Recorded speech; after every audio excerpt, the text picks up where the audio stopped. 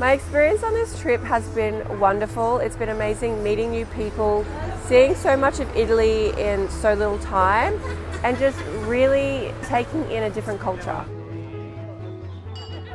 The way that the sky shows colour and texture is exactly like how artists paint it from this area. And as an artist myself, it's actually so inspiring and I don't think I've ever seen a sunset this beautiful.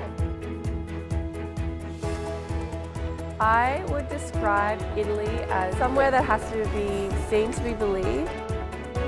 Just to be able to sit back and reflect on the last 10 days and really acknowledge how far we've come together and just how much we've experienced together is actually breathtaking.